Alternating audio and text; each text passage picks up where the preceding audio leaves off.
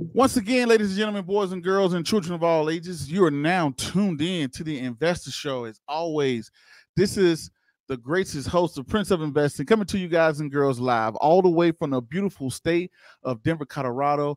Don't forget to hit that like, subscribe, comment, and share button. And as always, I don't have a lot of time, and I definitely know you guys and girls don't have a lot of time, so we're going to jump straight into it. So, as you guys and girls can see in the description box today, we're going to talk about, and I, this is a late episode. This is the late night episode or whatnot. And I'm bringing this late night episode because I want to talk about everybody's asking me, Prince, I'm new to investing. I want to start investing. The market is crashing. My phone don't stop ringing. Text messages, emails, DMs. Everybody always say, Prince, man, how do I get a um, you know, how do I get into investing? I I, I want to get into it. So that's what we're gonna do. So what we're gonna do, I want everybody to tell me where you're from. So first of all, we got to do the roll call. Let's let's go here for the people that are in here live. We got Michael. Michael said, I'm not missing this one. Toronto is ready to go. What's going on, Toronto? Mike, I see you got his name, Jim Jim, uh, fixed up. And yes, I remember seeing your email, Michael, out there in Toronto, Canada. And uh, yes, um, Terrell Davis, I know you're talking about him. Great guy. Uh, he was in, he starred in my third book. This is Terrell Davis. He started in my third book. I know you said you was a big fan of his, but yeah, he started my uh, third book. We did a launch together, all that good stuff. So we done a couple media appearances and stuff like that. So shout out to the Denver Broncos and Terrell Davis, Rod Smith, Von Miller, Emmanuel Sanders, uh, Philip Lindsay, and oh yeah, Brandon Marshall, and the list just goes on. So I, I know you see the big fan of him. I want to miss uh, get you that. Patrick coming in from Facebook. Lewis, Blue, Brittany, Duran. Oh, I think he's tagging people's name. What's going on there, Patrick? This is the midnight show. This is the late night show. Wesley is going to bed. I don't have to worry about him interrupting me. Wesley is not around right now, so I'm, I'm definitely I'm glad of that. What's going on? Chuck is chilling. We got Dervin Smith. He says, "What's up, Prince?" Beverly from St. Louis. Hey, Mr. Prince, how you doing, Miss Beverly? Okay, Chucky's Chili is coming from SoCal. Tracy Walker checking in from Pennsylvania. He said this this is a late one. Oh yeah, this is the late night Max B. This is the late night show. I changed it the background. This is this is the Denver uh, uh, skyline at night for the people that can't see it. Change the background to get it up or whatnot. Kevin Woods from Langston, California. Okay, Kevin. We got Antonio Gets. He said I came early. I'm from uh, Philadelphia, PA. All right, good, good. Devin is from Fort Shafter, Hawaii. He's in the house. Let's go, Prince. Okay, cool. We got JW coming from Nashville. Nice, nice. We got Robin Ferg, Yorktown, VA. I just got the phone with him too. What's going on, Robin Ferg? He's in here. Uh, Virginia Beach, Wokhorn says, How low will the market go on Monday? We will see. We'll talk about that a little bit. We got Miss Jamaica Oh, she's from Jamaica, right? I'm. Oh, she tagged somebody's name. I don't know. Chuck Buchanan says he uh he got my name 8M, not Chuckles. He got my name 8 8M. Not I don't I don't know what you're saying about that. Uh, Chuck Buchanan. Jacksonville, Florida is in the house. And who else is the last one down here? Gary checking in. Gary TH is checking in from Olympia, Washington. I'm glad y'all came in tonight to uh, check me out on this show real quick. But the, today we're going to do a very, very simple topic before we get into it. Let me uh, run this across my, uh, let me change up my little banner real quick. So everybody's asking, everybody's interested in the market right now. Everybody's coming along saying, Prince, hey, I'm new to the market. I never wasn't interested in investing. I'm interested in investing now. Can you help me? Uh, what should I do? Where should I start? What apps should I use? We're going to get into all of that, right? So I'm going to give y'all the seven steps I'm going to break down. Here we go. Y'all ready? So the first thing is first you got to know your financial picture. What I mean by your financial picture, you need to know how much debt do you have, right? Uh, how much debt do you have? Um, how much debt do you have on hand? Knowing your financial picture. What I mean by knowing your financial picture, knowing your balance sheet. How much money do you have? How much how much assets? How many liability? How much liabilities? Cash flow. do you make enough money to support your bills? So the thing about it is when some people, you know, I know some people that got four kids, three moms, you know, no stable income coming in, and they're like, Prince, I want to get to investing. I'm like, man, you before you get into investing, you you got to get your whole financial picture together, right? So if you're in this situation, first create your balance sheet. Know how much money is coming in, how much money is coming out, and where is your money. So a balance sheet that tells you where your money is, checkings, savings, uh we're doing a, a checking we're doing a savings we have a bank account or whatever. So you list out where all your money is. That's what a balance sheet is. Just how we look up these financial statements you're going to create a financial statement to say hey i got five dollars in checking a thousand dollars in savings ten thousand dollars in money market account twenty thousand dollars in the 401k ten dollars over here right? All of that that's a balance sheet Next, you do an income statement. Income statement, how much money is coming into the um to the house or to yourself or whatever, how much money is going out. Now, once you do this, you're going to be able to say, okay, well, you know, I work my job, I got a side hustle, whatever you do, my own business or whatever, and this how much money is going out. Now, once you do that, now you need to know is this positive or negative? So, how much debt do you have on hand? I'm sorry to tell you, if you have a $40,000 credit card that's maxed out, you might want to invest into that credit card, right? So I'm just giving you guys that plain and simple. So the whole thing is this is not a personal finance uh, course or uh, show, but this is telling you look at your financial picture, get it together before you can start investing. That's step number one. Look at your financial picture, know where your money is, know where your money is going. If you're delinquent on child support and taxes and stuff like that, take care of that first before you start looking into the world of investing. Number two, have an emergency savings. I can't stress that enough. I don't know how many people call me and say, Hey, Prince, you know, I got to liquidate all of my stocks. I got to sell all the stocks or whatnot. Yes, you do have to sell the stocks because you don't have a savings account. You know, you don't want to go out here and buy a bunch of McDonald's stock. And then when your tire blows out, you got to go sell your McDonald's stock just to go get your tire fixed. This is why you need a savings. So I like I like Dave Ramsey's personal finance thing when he says, first save up a thousand dollars, use it as your temporary emergency savings, pay off all your debt. Now, granted, people got houses and cars, big debts, thing like, but little frivolous debt. If you owe Macy's a thousand dollars and you owe Best uh Best Best Buy ten hundred, you know, you need to fix all that stuff up, right? So now you want to have emergency savings because you're going to need emergency savings just in case things get bad for you, right? Number two, because you don't want to. Oh, oh man, you know, I had emergency happen. I mm. got to go sell out of my my stocks. You shouldn't be investing in stocks unless you have a mm. five year time horizon at least. Number three, evaluate your current 401k. If you have a job, if you're in the military, look at your Roth IRA, look at your 401k. If you're a school a school teacher, look at your 413 Bravo, right? Look at the retirement plan you already have in place with your current employer. Because let me tell you, I'm gonna give you guys a backdrop. The reason why they have a 401k, the reason why 401ks are involved is because companies are literally going broke paying paying out pensions. Ford, for example, Ford is probably paying a million dollars a day or a week. I'm hypothetically speaking. Don't come at me and DM me and say, no, they're actually spending, I'm just hypothetically speaking, in pension plans. So a lot of companies out here still pay, paying employees that retired 10, 20 years ago. So with the whole idea is to say, hey, look, they come up with a 401k plan to say, hey, instead of the companies worrying about your retirement, we want the people to worry about their retirements. So look at your retirement. So guess what?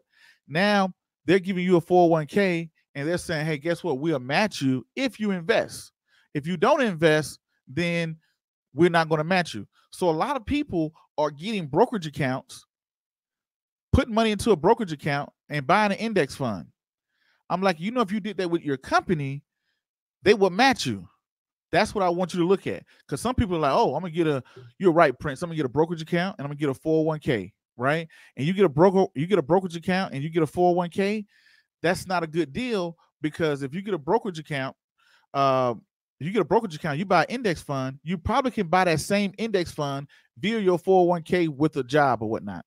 Now, granted, a 401k, you can't put you can't pull the money out until you're 59 and a half. With a brokerage account, you can pull it out at any time. Some people don't like 401ks, but taking a look at your 401k. Number four, now you're saying, Prince, I already invested in my 401k. Um, I, I want to, you know, I want something on the outside. When you look at the outside investing, there are only four ways you can invest. Breaking it down, simple and easy. There's only four ways. One, invest into yourself. You know, one, you can get in better shape. Two, you can earn certifications. You can get licenses, become a real estate agent. You can make yourself more marketable. That's investing into yourself. Two, business, right? Uh, either you start your own business, you invest into somebody else's business, all that great stuff. If you're starting out investing, I'm going to say no to startups.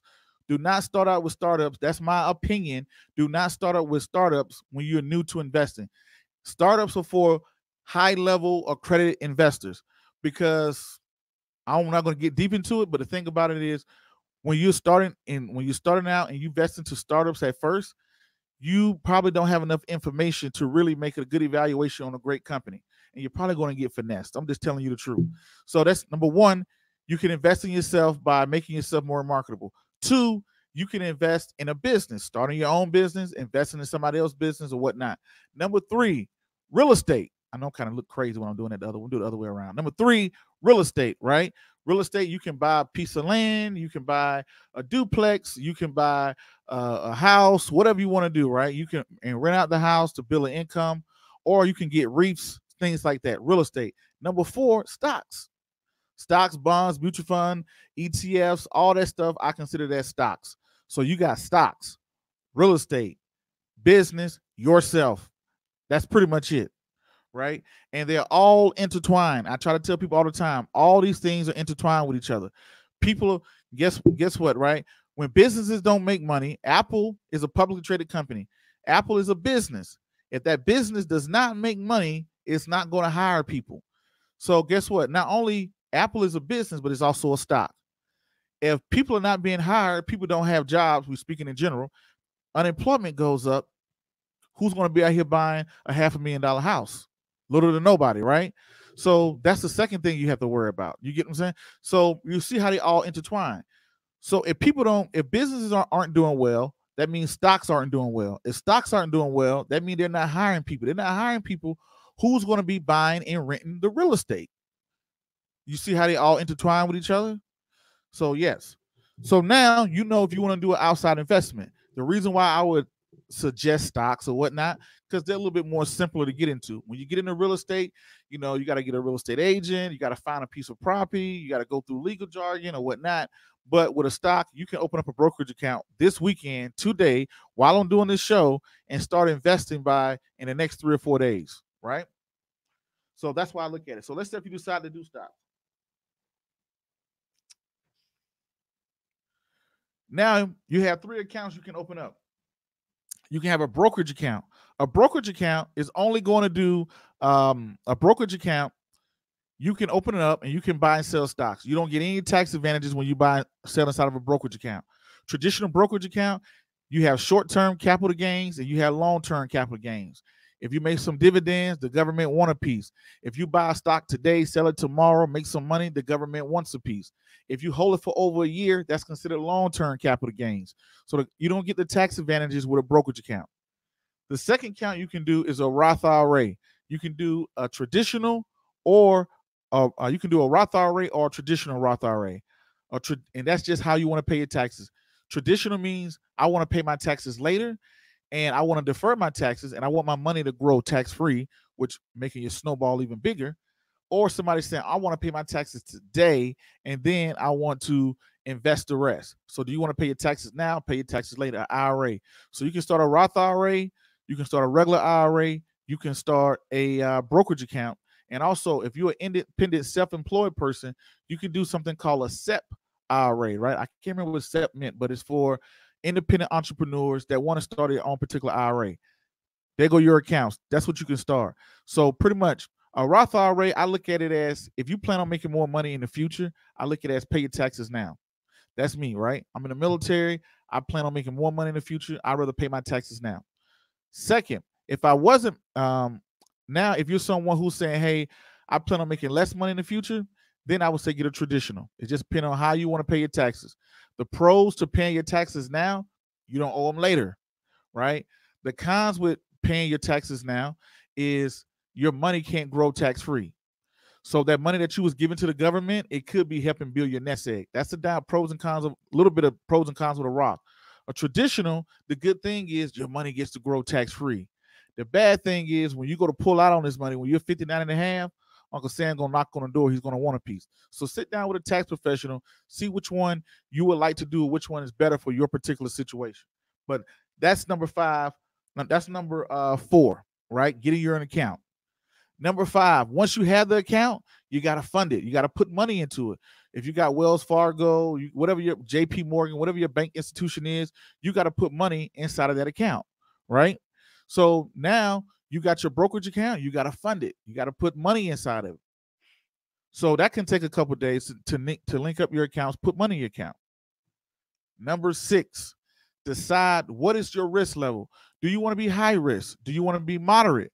Or do you want to be uh, do you want to be high risk? Do you want to be moderate? Or do you want to be um, conservative? That what a lot of people like to do that. It depends on your age, right? But it really doesn't depend on your age because retirement is not an age, it's a number. And what I mean by a number is how much money do you need to retire? So, with that being said, knowing your risk level, if you're a young person, if you're 35 years old, you plan on working till you're 60 years old, that means you have 20 years or whatever the case may be, you might want to be a little bit more high risk. Versus if you're hey, I I got a settlement, I won the lottery, I got a bunch of money, and I'm just trying not to lose it. Now you may want to be a little bit more conservative, right? You just like I want to. You might focus on a dividend stock. You might be focused on dividends if you are a high risk person. I mean, if you are a low risk person who's trying to preserve capital. I'm 65 years old. I don't like my dad. My dad is 74 years old. He's not concerned with growing money. He's going to be concerned with making money, right?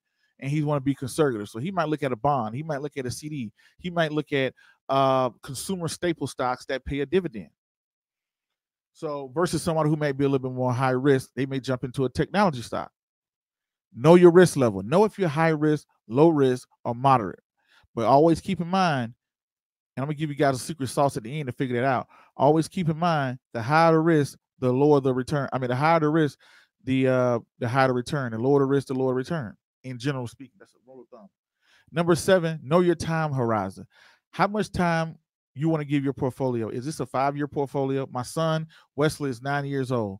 So Wesley, that he's nine years old, um, I don't plan on touching his account he's for another decade.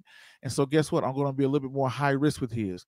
Now, when he's 18 years old and he wants to go off to college and start a business, get a trade, whatever he wants to do, I'm going to put that money to something more conservative, right?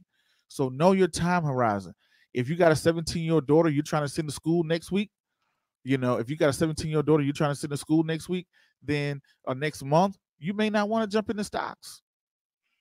So know your time horizon. Now, Prince, what is the secret sauce you're going to tell me? The secret sauce is knowing what your number is. When I say know your number, how much money does it require for you to retire? Take me for example. I'm 35 years old, and I calculate and I say, you know what? I want to make a hundred thousand dollars a month when I'm retired for doing nothing, right? Now, let's say I retire from the military. I earn pensions. So let's say my pensions are $50,000 a year, right? And then let's say my wife, she earns a salary of $50,000 a year. Then let's say if I went and got another career and I earned $50,000 a year, that's a total of $150,000 household income. So let's say if you say, hey, you know what? We're going to live off a 100,000, we're going to invest 50,000, right? what number do I need to reach for me to receive XYZ? I need to receive another $20,000. With that, I can tell if I want to retire at the age of 55, I know I have 20 years to reach this particular number. Now, if I know I have 20 years, I know how much money I want to make. And let's say if I plan on living to 85 years old, I know I need to live off this money for what, uh, 30, uh, yeah, 30 years. Now I know I need to live off 30. I want to make $100,000 a year for 30 years, what does what does that number equal out to? You can sit down with a financial professor or you can figure it out yourself and you can say, hey, you know what? I actually need 1.5 million or I need 800,000, whatever you you may need. And whatever that number is, now you can know now you know how much you can afford and you can say I need to earn a 5% 10%, 12%, whatever percentage return on investment to reach this particular goal. And you may find out you might be closer or farther away than you actually think. So know your number, figure out what that number is. So now that I say that, now that I say that, now let me get into some of the uh live, the people that are catching this live. Okay, Miss T Wilson Phillips, she says, Oh, she okay, she already said that. My bad. I'm reading the wrong thing. Oh, she said I tagged someone. My bad. I'm Jamaican. She's Jamaican and she's living in Princeton, New Jersey. All right, Princeton, New Jersey. Miss T. Wilson Phillips. Um, thank you for joining tonight. Hopefully, you got something out of the beginning what I was just saying. Uh, Kevin saying the late night section. Yes, this is the late night edition. This is why I got the uh, late night Denver edition on. That's my guy, Patrick Clark. Okay, what's going on? He said, What's up, bro? What's going on, Pat? Gary Wallace says, What's up, Prince? What's going on, Gary? Harloon Financials, what's going on? Prince, my guy. He says, Harloon Financial says, uh, I need to hear your thoughts on LK coffee out of China. Stock plummeted after they got caught cooking the books. Yeah, we're gonna look at that. Uh, we, we, I can give you my quick synop- synopsis. Uh, I had a lot of people. You're not the first. My phone ring. I got a text message yesterday about LK. Prince, what do you think about LK? And I get so many stock tips that I'm just like, whatever, you know.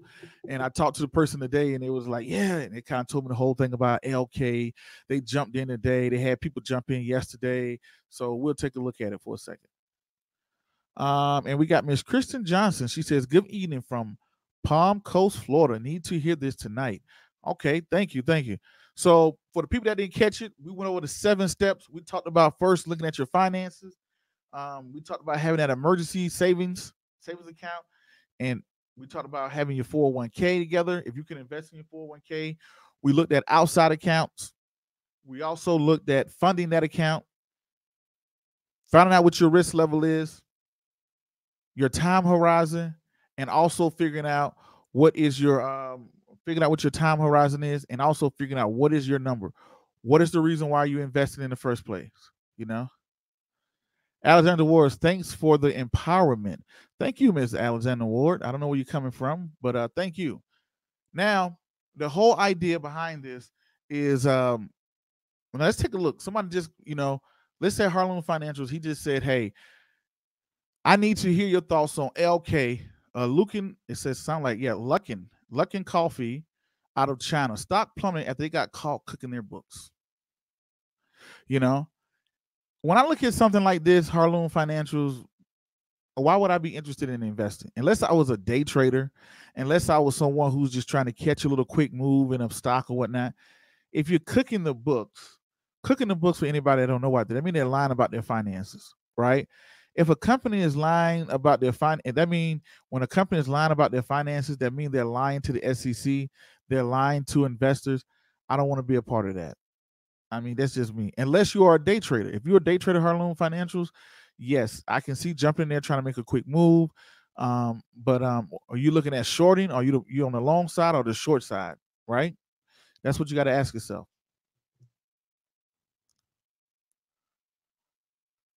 Okay, Miss Athena, Atrina. Uh, she, I said it right the other day. She said, uh, what's up, my money team? Georgia is in the building. Okay, that's my home state, Georgia. Okay.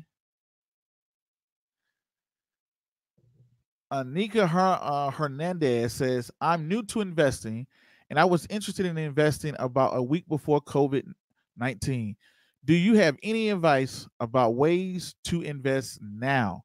I've seen some videos, um, uh, but I would like to get your take. What I would say, Anika, I think that's right. Anika Hernandez. What I would say, Anika Hernandez, I would say right now, this is a perfect time to get into the world of investing. We've been in an upward trend bull market for the last 11 years since March of 2009 when the market bottomed out. Now we are in a, you know, this is our first time seeing a market downturn. Market down with 36%. Unemployment went up today. Unemployment went from 3.5 to 4.4. But guys and girls, keep in mind the unemployment numbers only covered until March 12th the coronavirus did not stop breaking out until after March 12th in America. When it really when America didn't start shutting down until about the second week after uh the second week after the unemployment numbers was reported. So right now, if I was in your situation, I would take your money, I would save your money, I would build a watch list. What I mean by that, if you have money, put your money to the side, start to build a watch list. Start to build a watch, watch list, companies that you know well, companies that you would like to invest in, right? Then you're gonna have to do some some um, hard digging. You're gonna have to look at the financials of the company. But I'm gonna give you a little bit of secret sauce. I tell people this all the time. Ask yourself what companies were doing very well in the bull market and who are on sale right now and who has a lot of cash to be able to make it through through the next uh, market downturn, right? So ask yourself that were they doing very well before the market crash? Prince, why is that important? Because if you were struggling when everybody was doing good, then um, I don't want to be around you. So I'm not going to sign up to be on the struggle bus, right? When everybody's struggling on, if your company was struggling, if you was Ford, GE, if you were struggling during that time, why would I want to take that risk? I'm going to look to a more high quality company that was doing extremely well when everybody else was doing well. And now I see them at a discount, right? So that's what I would start at. And then I would look, I would look into um, who has a lot of cash on hand. So start with what you like, start with what you know. If you're in the restaurant industry, are you in the airline industry, or if you're in the uh, technology industry, the real estate industry, start in that sector and start working your way down and you got to get your hands dirty and you got to start reading financial reports that would be my best advice for you but most importantly start with the index fund first. Please please please please. Because the likelihood of you open up a brokerage account picking five or six stocks and them outperforming the s&p 500 is slim to none. Even the best of the best investors can't do it. 90% of them can't do it. So i would first tell you start with the index then work your way up. All right. Max B, what's going on? He said, Prince, did you hear about Macy's dividend cut? Yes, I saw Macy's cut their dividend, and I also saw Macy's got kicked off the S&P 500. Macy's cut their dividend, Ford cut their dividend, and they got kicked off the S&P 500.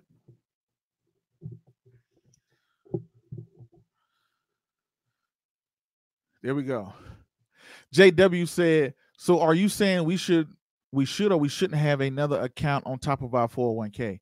Um, I would say yes, because with your 401k, let's take my full military, people have the TSP, the thrift savings plan. Inside that 401k, they offer some life cycle funds, which is kind of like L40, L20 life cycle funds. Then on top of that, they have a uh, S&P 500. They have small cap. They pretty much got small cap, large cap, um, bonds, pretty much a savings, uh, government bonds, fixed bonds, and international. That's it. But say if I just want to buy Nike stock, Microsoft stock, Apple stock, I can't do that with my particular 401k, right? Most for, most 401ks can't do that. So if you have an outside account, you can have more self-direction with your 401k. Some 401ks you can buy real estate, you can buy Nike stock, Amazon, you know, you can do more with you have more flexibility with your own individual 401k. The only difference is depending on your income level, it's only a certain amount of money you can put in there, which is between like 5500 to 6000 a year. All right. Max B said also, yes, Robinhood, I didn't get a chance to announce that, but Robinhood, they're now doing drip dividend reinvestment plan, and they're also doing fractional shares now, which is good. They were talking about it for a while. I should have done a live about it, but yes, uh, I probably do a little video about it anyway, saying that they offer fractional shares, which is good for them. Um, but I'm not a big fan of Robinhood, but that's good. They they said they was going to do it. They finally figured out, I guess, how to do fractional shares. I haven't tried it myself. I know Cash App does it. I know M1 Finance does it. But congratulations on Robinhood for keeping that foot on their necks with getting fractional shares, and also they added dividend reinvestment plan. So great on them. Gary Wallace, what's going on, Gary? He said, Prince, name some of your speculative stock buys, your long shot stock picks. Well, I gave those away probably about a million times. I tell people all the time about Apple, Google, Amazon, pretty much the thing. I'm not big on Facebook, but you know what? I think Facebook is going to do extremely well come next earning. Google, they are all the internet. Apple, Microsoft, Google, Berkshire Hathaway. I'm riding that bus so far. Only thing bad about Apple, Apple hasn't been innovating anything since Steve Jobs died. I mean, ever since the iPhone 4, all the new iPhones are just, you know, and me, I'm an Apple person. That's the only thing I don't like about them. Excuse me. So now my big speculative ones, my very, very spicy speculative ones are Uber. I think Uber is I gotta see their earnings. I think Uber Eats is great at this time, but I think Uber just picking up people, dropping people off. I don't know how well that's going on. So uh Uber is a speculative stock, Space is a speculative stock, and Tesla. Those are my roll of the dice. I'm rolling the dice on Google, not Google, but I'm rolling the dice with Space. I'm rolling the dice with Tesla, and I'm rolling the dice with Uber. Right? Those are my uh shake them up. Let's see how they go. But the the ones I feel very uh, very strong on are you know the ones I just named, the big the MAGA. And if if you don't know what the MAGA is, that's the trillion dollar club, M A G A, and that's not Make America Great Again. That's Microsoft, Amazon, Google, and Apple. They're the S&P. Uh, I thought they got dropped from the S&P 500. You're saying the small cap. I think they got dropped. I I, I swore they said S was it 300 or 500, but I know they got dropped from a major index and they cut dividends. So guys, cutting. I always tell people dividends are not guaranteed. Give dividends they vote on like every quarter at the board meeting. So just because you're getting dividends right now, don't mean you're going to get dividends forever. A company can cut back on their dividends to save the company. We looked at the finances of the company you know what? I'm I'm going to take y'all through a look. Let's take a look at Macy's finances. We're going to take a look. Y'all give me one second here. We're going to take a look at Macy's finances. And for the people that ask me that say, uh, Prince, what does that mean? Why Macy's finances matter? I want to show them how much you were spending on uh what you call it. I want to show them how much I want to see how much was Macy's spending on dividends? Let's take a look at it. Uh, right here, we're going to go to the cash flow statement. Don't worry about it. I'm going to pull up the screen as well. Y'all give me one second.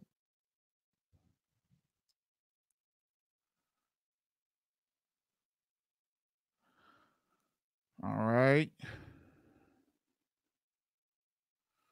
I'm gonna share the screen with you guys and girls.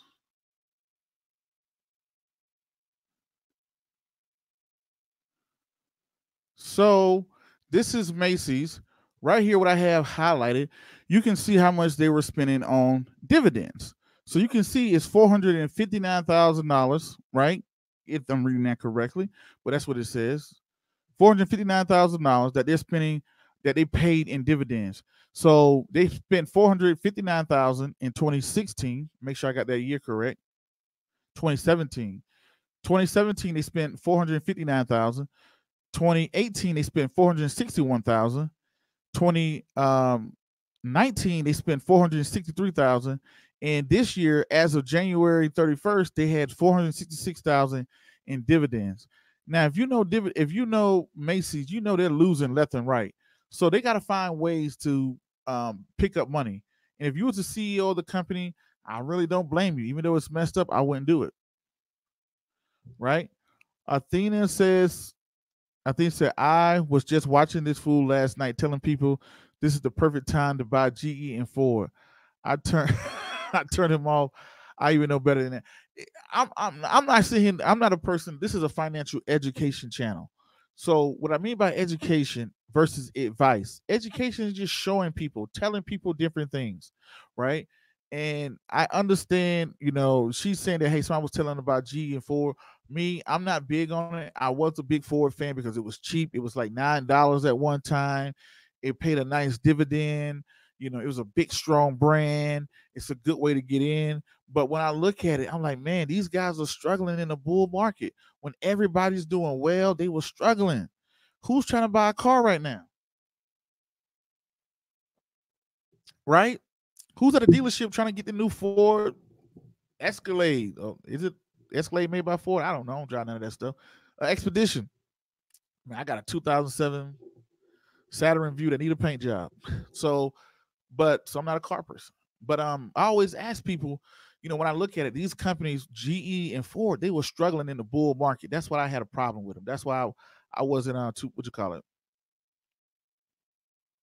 So that's just my take. Gary TH, what do you think about Mondelez International? Let me look at them real quick. I'll give me one second. I don't know what their stock symbol is, but let's try to look it up. Mon. Okay, MDLZ. Okay, so let's take a look at this company together that he just that Gary Th brought up. Let's take a look at it together. Just a quick synopsis, nothing, nothing too deep. So okay, the company costs fifty dollars. It's a um, I don't know a whole lot about the company, but let's take a. That's one thing I don't like about Yahoo Finance. They don't really is a little bit harder to find out about the company. But anyway, let's look at it. It's 72, 72 billion in uh, networks. Let's take a look at a quick look at their finances. Right. So the total revenue is kind of staying the same at 25 mil. Um, let's see what else they have here. 25 million operation expense. Their debt, they're kind of cutting their debt over time. The debt is kind of staying the same. The net income, pretty nice net income, 3.8 million, 3.3 million. Okay.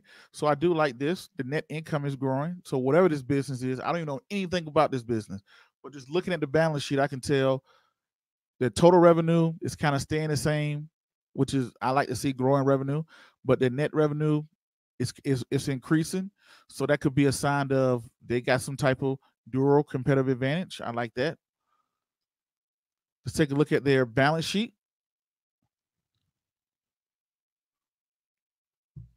Total cash, they got 1.2. So this kind of looks uh, okay. You know, they're they had 1.7 in cash. Now they're down on 1.2 in cash. That's not too too crazy, but okay, so they do have a little cash on hand. Um, all right. Total assets 7.6 million. I mean, no, 64 million is the total assets.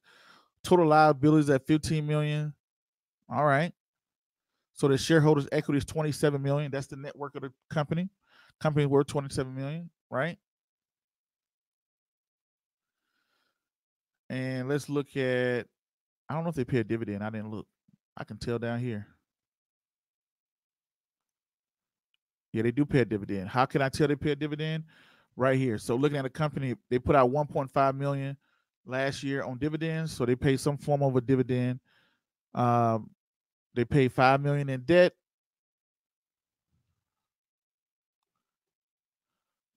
Let's look at free cash flow. So this is nice. Free cash flow is growing over the years. That's nice. So just a quick look. I don't know anything about this company. I don't know anything about this industry from looking at this, this would make me look a little bit deeper, right? I would look at this company. You know, let me find another outlet. Let's go to profile. All right. Consumer defense. Okay. It's in the consumer defense sector and the you know what, let's go to their website. Sure. That'll tell us a lot about it. But if I was talking to an E Trade or whatnot, it's easier to see about it. Let's look at about us. Oh, snacks. Snacking made right. Okay. So even though y'all can see I know nothing about this company, it's a cookie company, it looks like, right? Oh, it helps people snack right in 150 countries around the world. Uh, with a future snacking with iconic brands as far as Oreo. Oh, okay. So right here, we're the largest snack company in the world with a net revenue of 25 million. They didn't got to tell us because we already saw that, right? So this is a snack company. So now I look at this snack company, and now I would compare it to other companies in the uh, industry. So y'all can see how I just went from knowing nothing about this company at all, doing a breakdown of his finances, looking through his uh, finances or whatnot, and then making a what you call it. You know, that's how I look at it. Gary says MAGA. Let me stop this. Stop sharing. He says MAGA. Yeah, this MAGA is the uh that's the trillion dollar industry. Well, a lot of those companies not worth trillions of dollars anymore because they've gone down. it's Microsoft, Amazon, Google, and Apple. Oh, Max B said they dropped from the S&P 500 to the 300. I'm thinking he's talking about he's talking about Macy's. Uh, three, yeah, she said Tesla. I'm shocked to hear that Tesla. This is why. That's I always tell people with 10% or less of your portfolio, then you can do stuff like that. 10% or less. If you want to put a little spice on your portfolio, those are the companies I just like, okay, you know what? Usually Uber, Tesla, Space are unprofitable companies. That's usually a no-go, right? But I want to give him a shot. This is just almost like picking up a lottery ticket to see what what happened to him. So that's like 10% or less of my portfolio to say, okay, let's see if they make it, right? Oh, we got Shan. She's here in the building from Memphis, Tennessee. Kendra Taylor says a snack company. I'm pretty sure they were just talking about the company we was talking about. Chris said they make Oreos and Ritz. Yeah, that was the snack company we were just talking about. Thank y'all for backing me up on that. Deadly River said smoking finally got one of these streams. oh yeah, thanks. Finally catching me. Finally catching me live.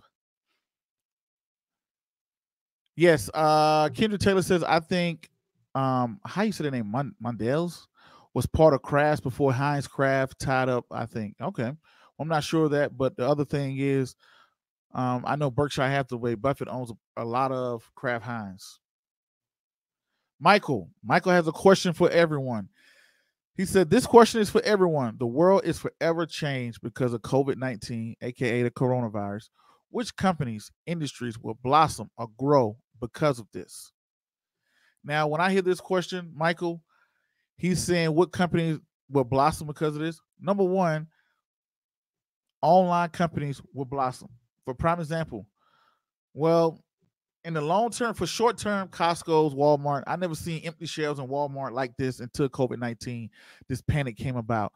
So I think they forever changed it. Uh, they help those companies, Costco's, they help Walmart, um, they help companies like Zoom, um, they help companies like uh, Facebook. More people are on social media. I think more people are consuming Netflix, Roku. You know, more people are online now. So I think anything that focus people to be online, Amazon, um, I think that's the one that uh, you know, I think Uber Eats might even benefit from it. So Clorox, short term would be like Walmart, Costco's Clorox, right?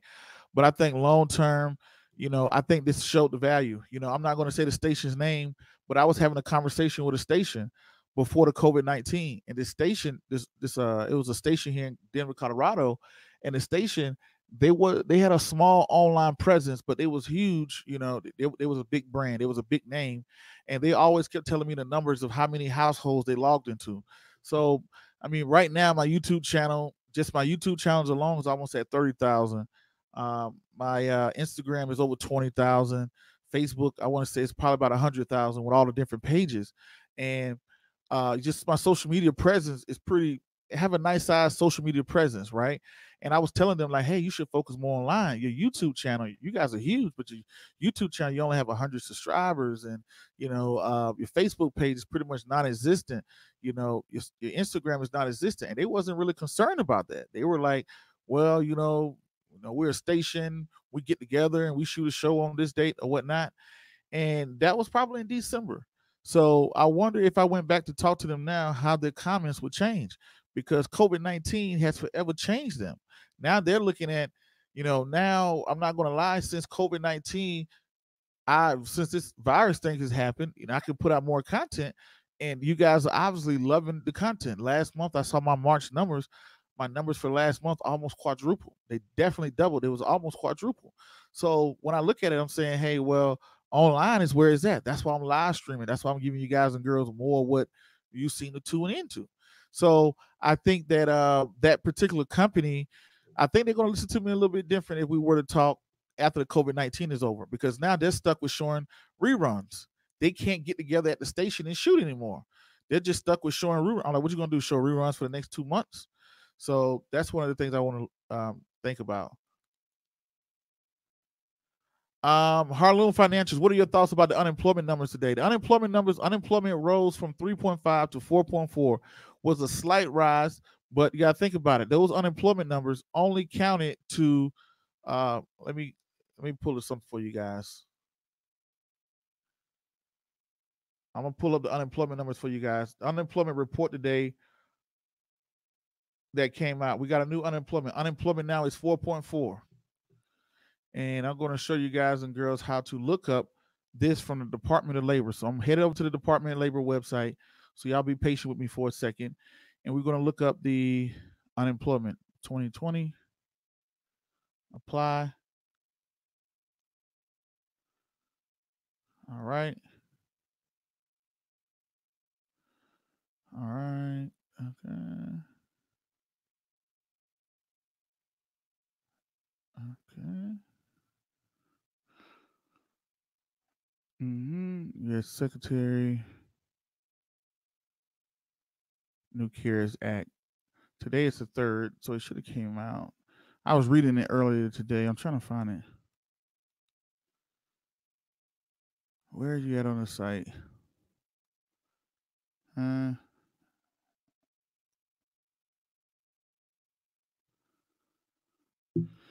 where is it at? Y'all give me one second. I didn't have this already pulled up for y'all because I didn't think about talking about it.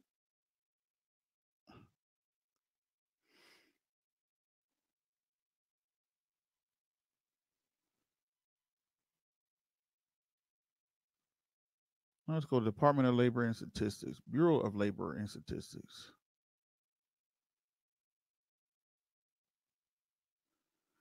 And the reason why I want to show y'all this,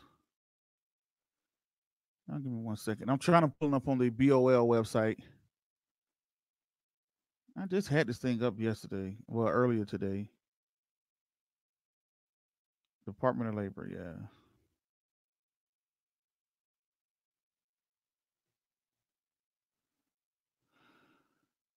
No, that's not it.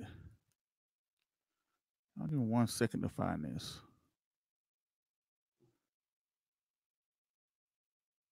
I'll give me one. I know I was watching this earlier today. I wonder where's it at? Why is it not on here? Why is it not popping up in the talking about respirators?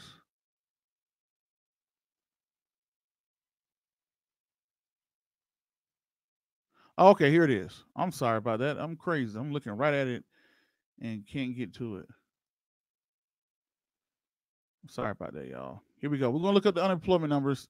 Halloum Financials asked me about the unemployment numbers, so we're gonna look up the unemployment numbers today, and I'm giving y'all that straight from the horse's mouth.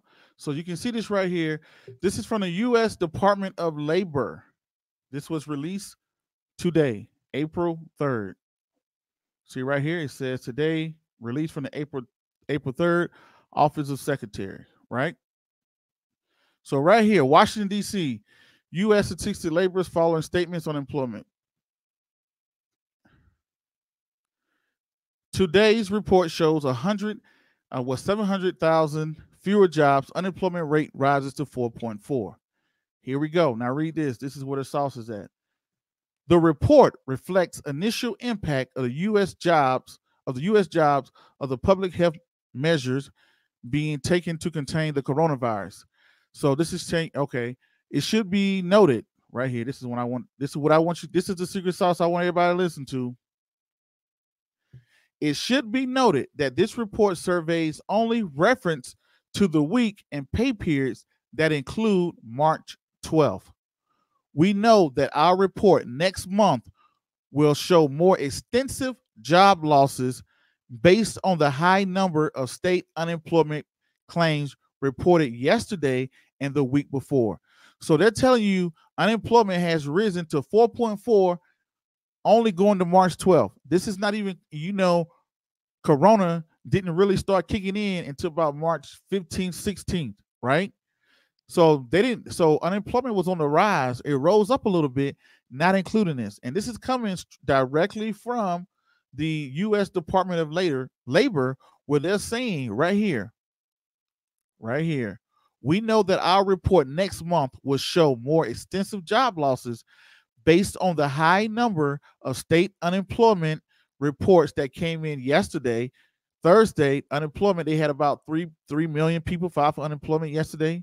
And the week before, they had another three million. So that's six million. So they're telling you, yeah, we rose to 4.4, but this is not even uh kicking in coronavirus. So there it is, guys and girls. I showed you that directly. That came directly from the source. Directly from the source. This is showing you from the U.S. Department of Labor. This is not what Prince Dykes said, not what I think. Daily River says, "Hello, yep, I caught you. With any luck, I'll make a million and give you thanks. Appreciate that, Daily River. Hope you do. Hope we make it together. Prince, what do you think about KR? Let's see what KR is.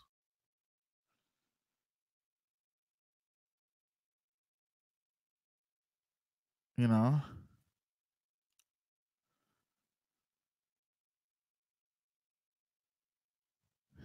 let me see here. Give me a second on that one, Max B. Somebody just asked about KR. Y'all give me a second. I'm gonna come back to uh, KR. Let me get to the other ones. Michael said, "Great answer." Harloon says uh, they're saying upward of 30 million could lose their jobs before this is all said and done. Yes, that's true. And the U.S. Labor Department just told you that, right? So I'm teaching you guys and girls how to fish. You don't have to go to, you know, I'm giving you guys raw data. That's what I mean by raw data. Is this is this is the this that is what CNN, the Yahoos, the uh, CNBCs. That's what the analysts are reading and reporting to you. I'm showing you exactly where it's coming from the horse's mouth, right? One second. I hate when it does this. Sometimes my okay, here we go.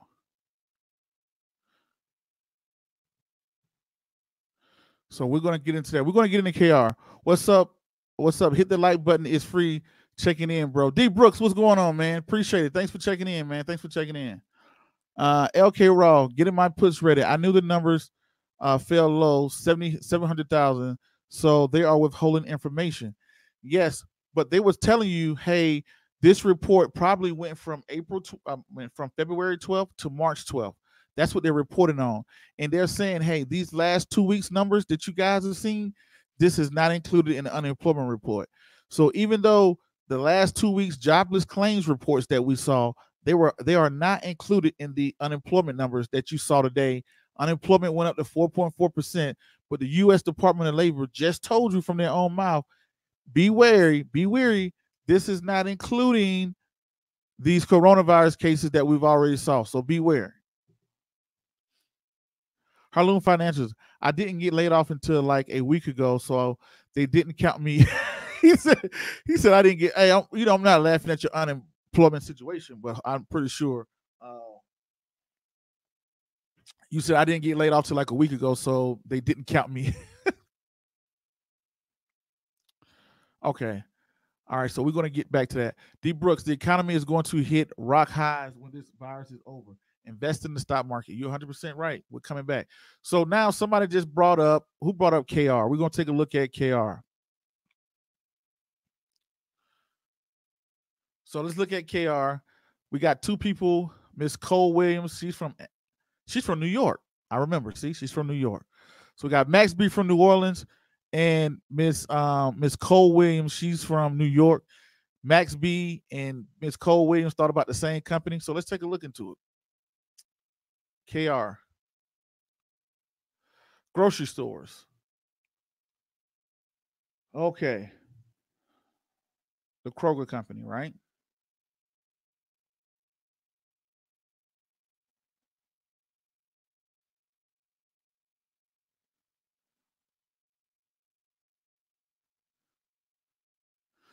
So $25 billion market cap, nice PE ratio. Let's look at their finances. All right.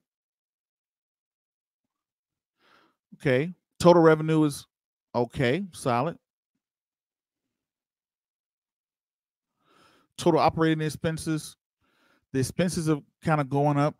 I don't like to see that just to let you guys, girls, know that operating expenses. They don't have any debt here, so they didn't report it for 20 no for 2020 for some reason unless they have no debt which is very good ooh so right here when i look at the net income Why did the net income in 2019 it was 3.1 million and then they dropped down to 1.6 million? Hmm. That doesn't look now. Granted, this is that doesn't. Uh, that's already like why did the net income drop so much? Total revenue stayed the same. They brought in the same amount of money, but what changed? What changed? Let's look here. Right here. Total other income and expense net. Hmm.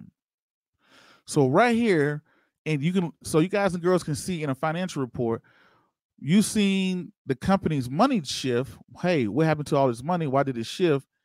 And you're looking at two things that uh went up, right?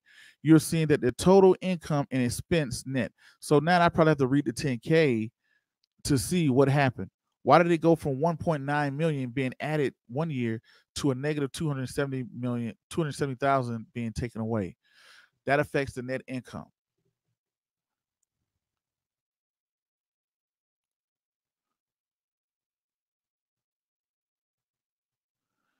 And also their income from continuing operations changed.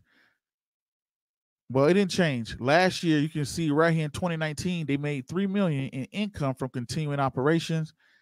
You can see in 2017, they had 1.9 million. 2018, they had 1.8 million, but they shot up for some reason to 3 million, and then they kind of went back down here. So this too is what could have thrown off the net income. So you can see last year they had 3.1 million in net income. They had a big spike, and you see a lot of that spike is coming from this 3 million that they made. So I would want to look into what is their income from continuing operations? What does that mean? Is that common in this industry? Right? I know Walmart is a grocery store. I'm I'm guessing that's probably the biggest grocery store, right? If they consider that a grocery store or a retail store. So those are things that I'm looking at real quick. But so that's that'll some be something I will highlight. That could be something that could be going on in the industry. So let's take a look at the balance sheets. Okay. Okay, total assets are growing. That's nice. But their total liabilities are growing as well. I do like this shareholders' equity. Shareholders' equity is pretty much the network of the company. 8.5 million now. It was 7.8 before, 6.9, 6.6. So I like that. You know, total shareholders' equity is growing. And you get shareholders' equity by subtracting the assets versus the liabilities. So some little things. So let's take a quick look at Walmart. Let's see what Walmart looks like.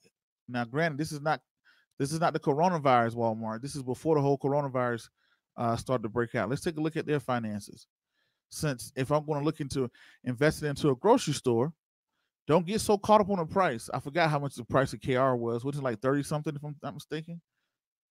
Let's take a let's take a look at them, right? Okay. So Walmart, look how much they bringing in 500 million. So way more money than Kmart, right? And then we look at the net income. Let's come on down into the net income. You look at their debt, their debt is staying about the same look at that net income. Now it did take a dip. It took a dip for two years in 20, 2000, uh, 2018 and uh, 2019. But look at last year, had a strong year, 4 million. And uh, they almost doubled for some reason last year. Why did they double? Let me see. See? Now we remember on Kroger in the same category of income and continuing operations, they had a dec- decrease. You remember they went down. Right here, Walmart went up in that same exact category. So last year, Kroger went up in the same category and made a bunch of money. Walmart, they went up this year and made a bunch of money. So I don't know what's going on with that area, maybe that space or whatnot, but that's to bring up concern. But that's a lot of money right there in the net income. Let's look at the balance sheet.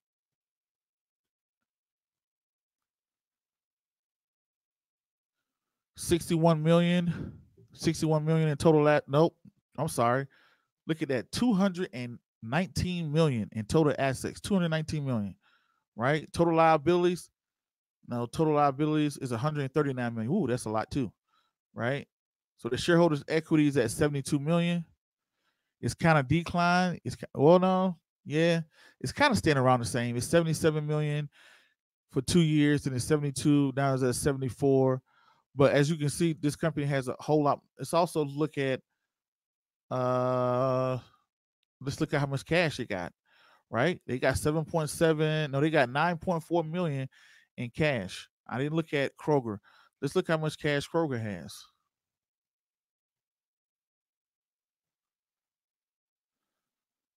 So they had 9.7 million in cash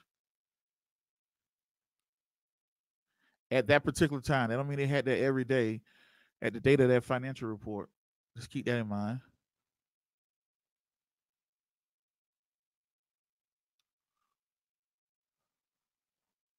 Oh, oh, oh, oh, oh. Let me go.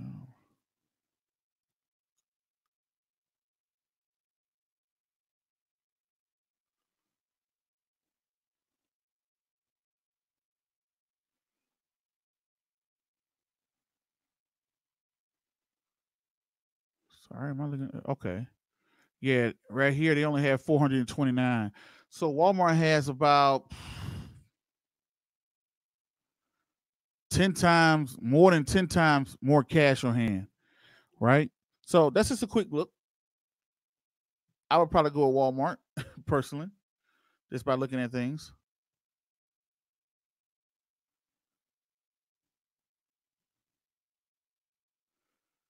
Okay. One thing.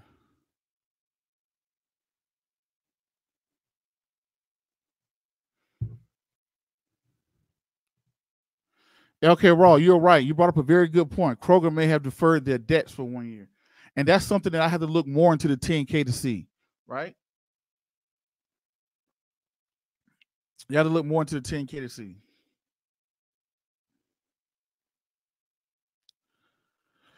Yeah, Deadly Rivers saying, you know, where the, see that's the things you got. Now you guys are asking what real investors ask. Most people just look at the price, they look at the company name, they look at it, take a dip. Now you guys are asking the right question. Deadly River says, um, where did they spend up half of their income between last year and this one? Okay, Raw just wrote, hey, maybe they deferred their debt. This is when you know I'm going to get into the show too, where we're going to start reading 10K reports, seeing what a company is saying. So, hey, and, and if you read their reports, they'll probably tell you what happened, right? But these are the right questions you got to ask. These are the questions. Now you're becoming a real investor when you're looking at the finances. I did that before, you know. My buddy came to me and was like, Yeah, Prince, man, you know, I'm thinking about doing this. I'm thinking about, I'm like, what? Yeah, that sounds like a good idea. Yeah, I want to get involved. Wrong answer. That's speculating. An investor is someone who's going to look at a company, break open those financial reports, start reading those 10Ks, start interpreting them, uh, understanding the language of the company, and start to realize, like, hey, what are you doing with this money? And start comparing, right? Because you can't be loyal to a company.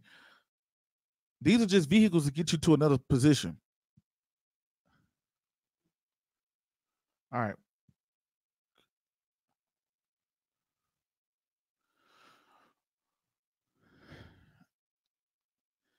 That's why I'm here trying to learn what I look for most companies. Okay, one sure. Okay. All right. So Robin Ferg said, Prince, what do you think about PLNT? Let's see what that is. What is PLNT?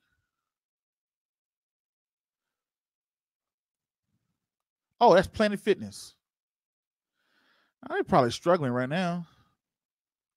Well, looking at Planet Fitness right now, knowing it's going to be ugly, I really don't even want to look into their finances because – uh, you know what? Let's do a quick let's do a quick uh synopsis. Let's look at the chart. You know, how has Planet Fitness performed in the last? Okay, let's take a look. Let me share my screen with you guys and girls and children of all ages tuning in from around the globe. All right, let's take let's go back five years right?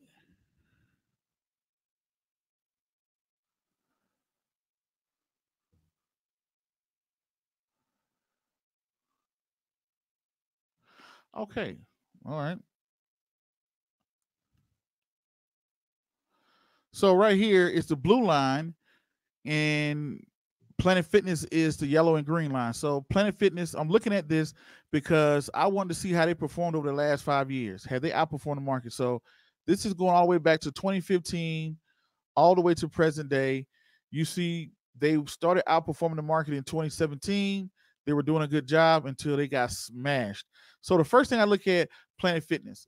Planet Fitness got a massive drop to do because no, no who's been working out this quarter? They're going to go two months. Next quarter, they're going to go two months without anybody working out, right? So now we're looking at this is the PE ratio. Okay, so they they were a profitable company. I said were. so now let's look at their quarter. Total revenue last quarter. Total revenue from last quarter was 191,000, right? 191. Am I that's supposed to be in millions or I'm messing that up? No, it would have said millions, right? It's 191.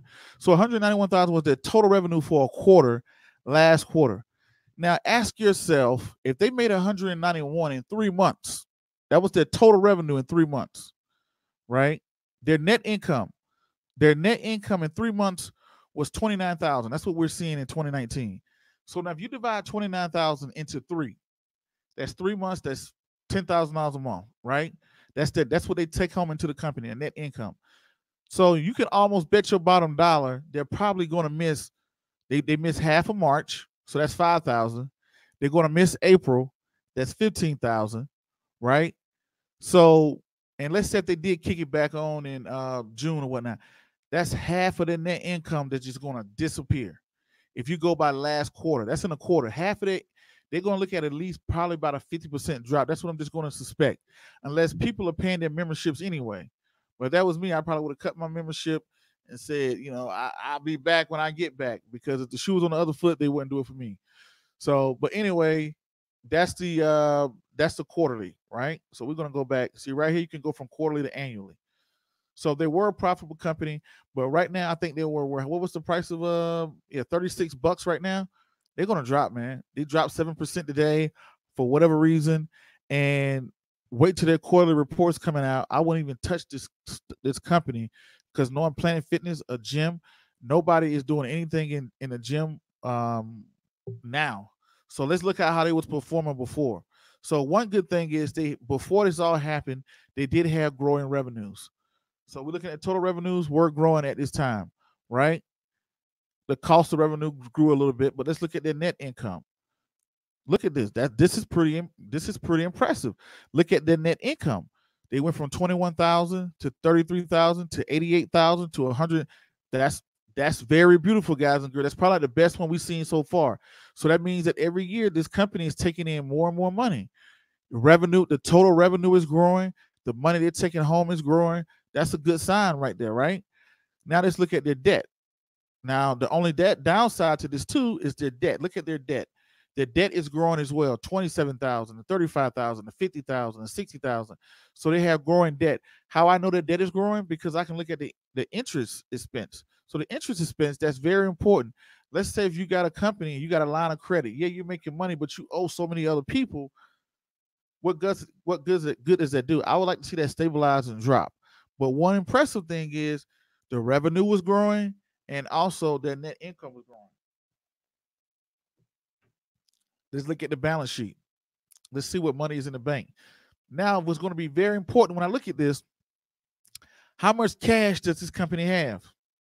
Why is cash going to be so important? Because they're going to need this cash to be able to make it through this rough time. Because I don't think people are going to be back in the gym by May. I think people may, let's say they lift the ban in May, people going to be in, you know, know who's going to be like, oh, let me run to the gym and try to, you know, no, no, no, no. I think that they may have to go a whole nother month. So we know they was making thirty thousand dollars a month. So let's look at it. If they was bringing in thirty thousand dollars, let's say if they didn't bring in that thirty thousand dollars, and let's look at how long could this company last off of its cash. We can go back and look and see how much money. So all you got to do, right? Look at the income statement from twenty uh, let's look at the quarterly statement.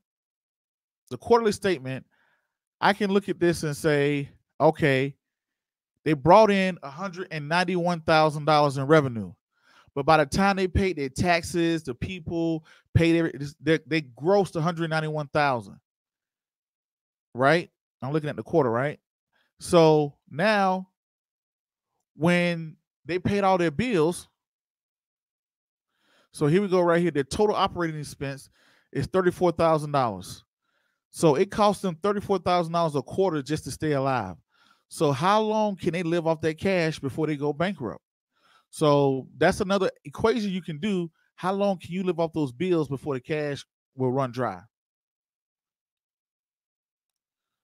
So that's why total cash would mean a lot to me in this particular situation. So the total assets was 1.3 million. Their total liabilities is 1.7 million. So when you look at their shareholders' equity down here, it's a negative. I can't even yeah, hide this thing, get this thing out the way. So you can see down here, once you subtract the total assets, the total assets in the company. I'm on annual. Yep, making sure I look at the annual from from last year.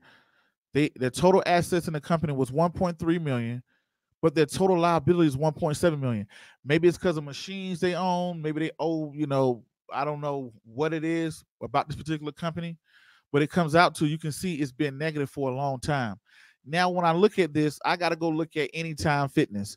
Let's look at Anytime Fitness. Let's look at somebody else in the industry. How do they compare to this? So they were looking good, but when it got down to this balance sheet, they're not looking too hot right now. They do have a nice little chunk of cash on hand to be able to help them out a little bit, but uh, I wouldn't even touch a gym stock until I think you're going to get a way better price if you just wait until the summertime at least. Hopefully that makes sense, Robin.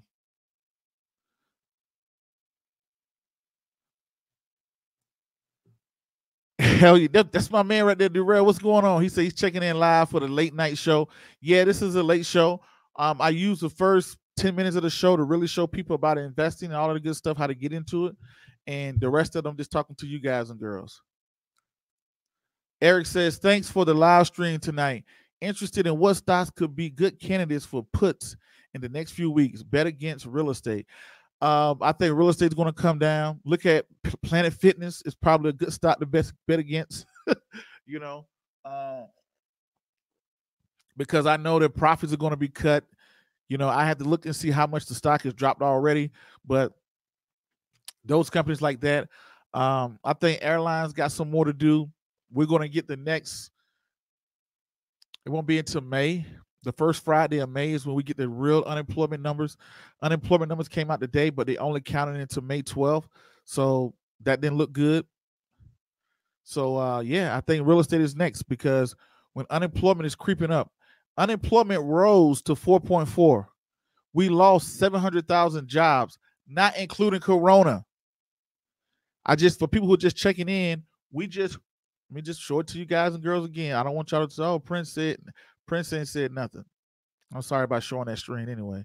But I'm gonna show you guys and girls here. Prince ain't said nothing. He I want y'all to go back and say, hey, Prince showed me. This is what I learned. I'm teaching you guys and girls how to fish on your own. So right here, this is coming from the U.S. Department of Labor. Came out April 5th, April 3rd. I'm about to say 15. April 3rd, right? That is today. Right here. They told you right here. Today's report Today's report shows 700,000 fewer jobs.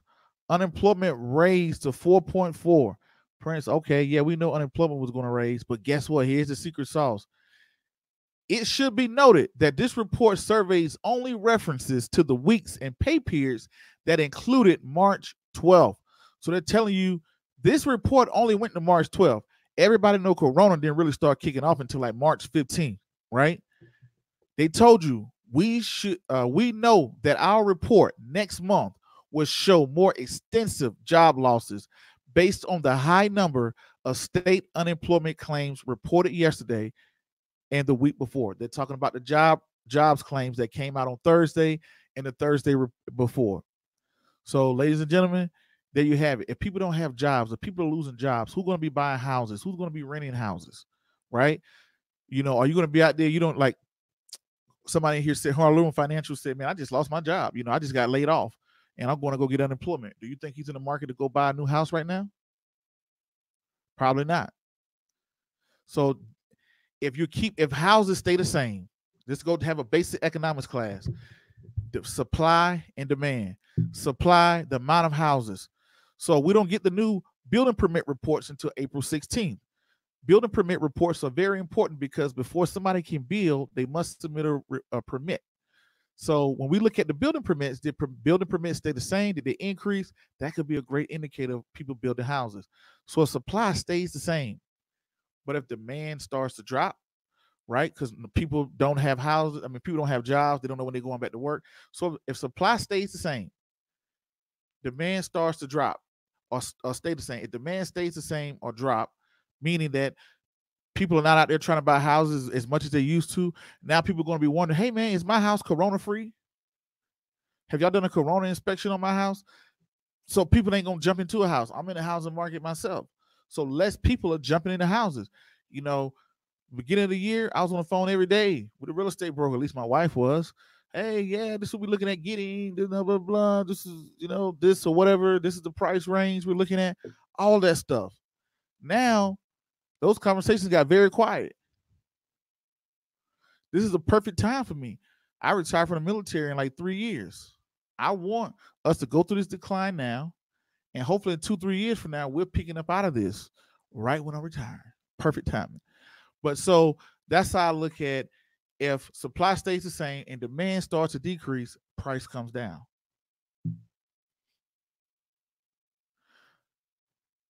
Um, Michael said to everyone out there, all the best in your investments. I feel like we're all on the same team. Coming from Toronto, Canada. That's what I'm talking about. All right, let me get some more of these questions in before I got to get up out of here. D Brooks, three years ago, I invested a thousand dollars and doubled my money. Sell it February. CST is the stock. CST. Okay, he said three years ago he invested a thousand dollars and doubled his money. Uh, sell it. I'm guessing he's talking about February. CST is the stock. Derek Smith said, Prince, can you look into MX? Not right now. I don't want to look into another one right now. Right? Not on this one. I'm trying to get to everybody else questions. I'm gonna have to get out of here too. Right? Derek said, can you look into MX? Been looking into holding. They haven't affected by the CV crisis, almost like they're bulletproof. So he's saying MXRT, MKTX. That's the symbol. Maybe a little bit later on. Walmart is so much larger than Kroger. We will have to look at the ratios to really see how much better one is over the other. Yeah, you're correct, right? And what she's talking about is you break it down to percentage. So just because a company has more money doesn't mean they're better, right? Let's say let's take two investors. Say if an investor said, "Hey, I made a thousand dollars," and another investor said, "Hey, I made five hundred. People automatically going to think the investor that made a thousand dollars is a better investor than the person that made five hundred. But if the person who made five hundred dollars told you they started with five dollars, and the person who invested or uh, who made a thousand dollars told you they started with 900 then that changes everything. So when she's talking about his percentages because when you in that scenario when you break down percentages you're going to see that somebody made a thousand percent return and somebody else made a 10% return. So you're absolutely correct to look at the ratios of who's doing better not just the numbers of oh he's doing this. You got to look at the ratio. You're absolutely right lk raw Why would a company defer their debt? Tracy Walker, ask yourself this question why do we defer student loans? you know, people are, uh, you know, people, because companies are like, hey, you know, instead of paying this debt now, I can defer it, right? I can defer it to next year, right? Some company, they may have something else they want to pay. It could be a lot of uh, reasons for doing that, but it's the same reason why do we defer student loans. Some people defer their student loans because, hey, I ain't got the money. I don't want to pay it right now. I'm trying to do something else it could be other things. And usually that's broken out in the actual report, in the actual financial report. And usually the CEO usually would tell you that on the annual report or in the quarterly report. And people would ask that question, hey, why did you defer your payments? But a lot of people, that's pretty common. People usually, uh, a lot of companies do defer their payments to another time, just like regular people. Like I guarantee you, a lot of people are deferring their mortgages who just lost their job or who have no income.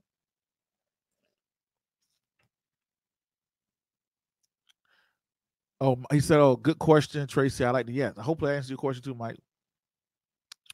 We got Corey Touchstone coming in from Facebook. He said, "Hey, hey, here from Mississippi. I'm just tuning in. If I had two thousand dollars that I had that I had that I, I was willing to risk, what would be the best interest to invest in the main stocks or spread it around? Okay.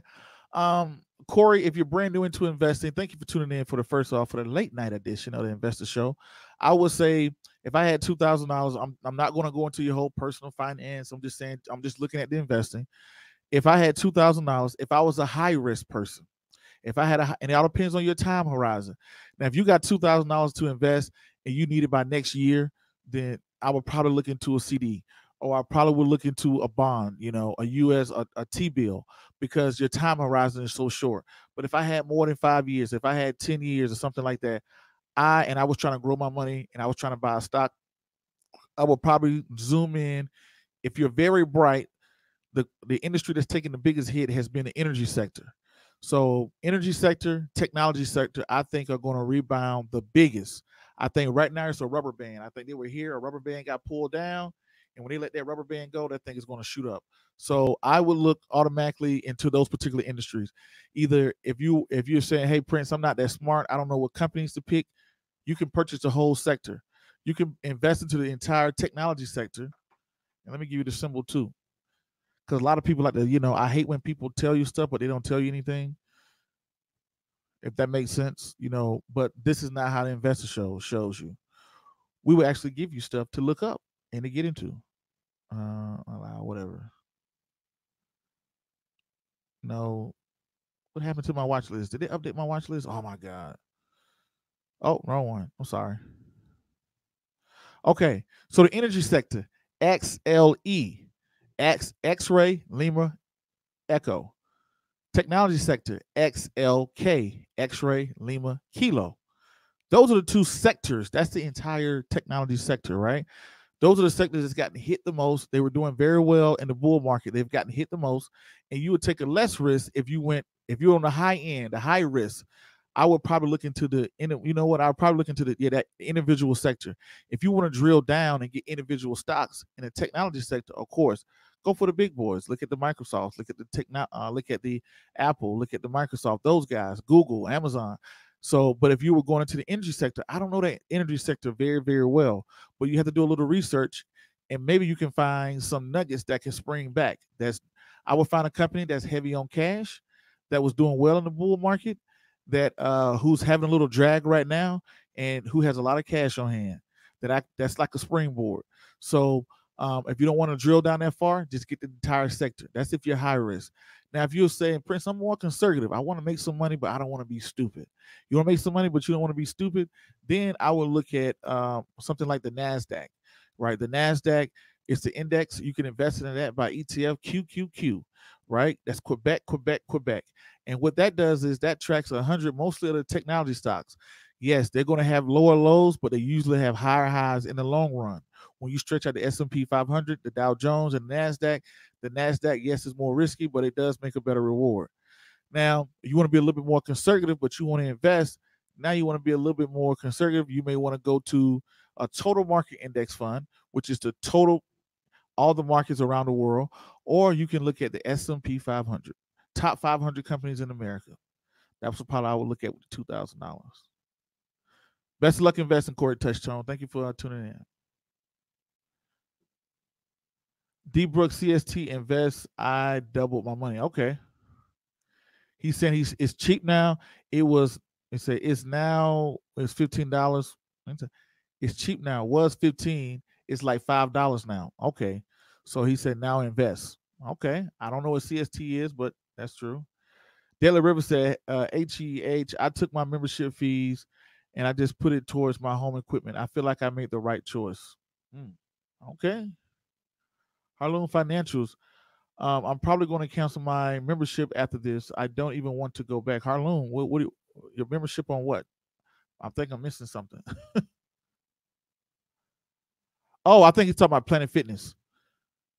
Yeah, especially Harlem. If you got Harlem, if you like you said, you lost your job. If you lost your job, then I will stop everything that's going out of my account. I will stop everything. Miss Tara Jackson, a personal finance expert that came onto the show, that was some good information she came out with. She said, stop everything that's coming out of your account and you question everything that's coming out. you know, something you need you might want to do, change your card number. You change your card number, that stops automatic payments.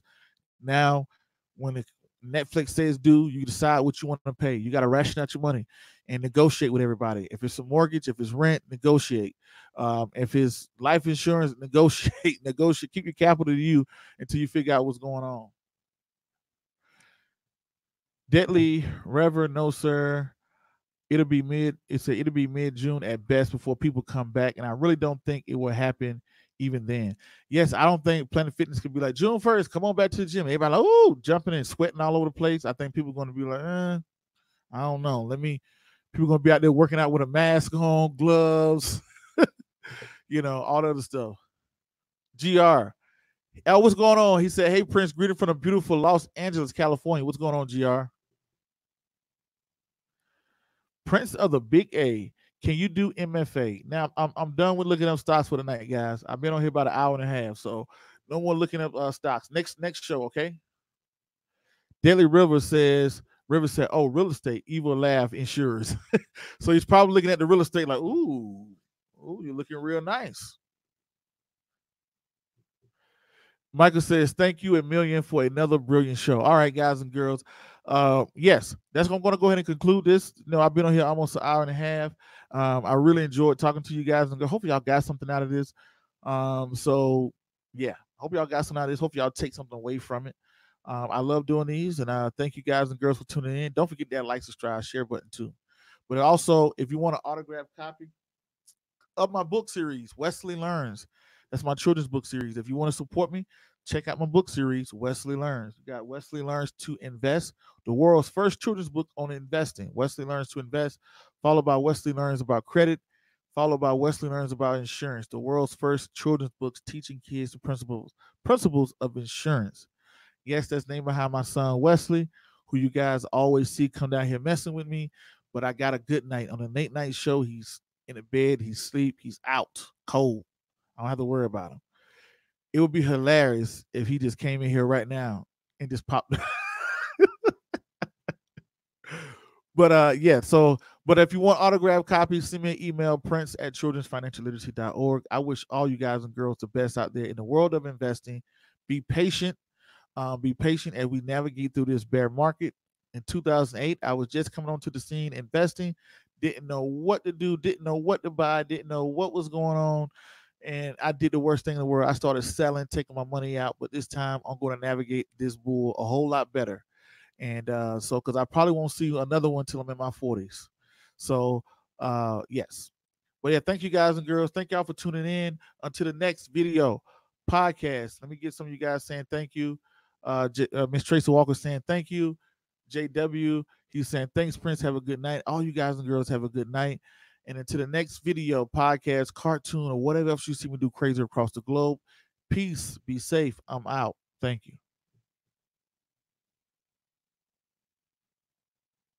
Oh, well, Michael got this in, Michael Davis, what's going on? He says, Thank you for all that you do. I'm just getting off. I usually watch uh, the video on the drive home. I was totally surprised to be on live. I have been watching you for three years. Good show. Michael Davis, I appreciate that. Thank you. Thank you. Very good show tonight. This is the late night edition that we did tonight. So uh thank you, Michael Davis. On his drive home, he says he's checking it out. All right, cool. But y'all also can get all the playbacks. They're going to be on Spotify. They're going to be here on YouTube. They're here everywhere. So thank you guys. Miss uh, Miss Cole Williams says thank you. Yes, thank you guys for tuning in. Until the next, let's try this again. Until the next video, podcast, cartoon, or whatever else you see me do crazy around the globe. Peace, be safe. I'm out, and thank you.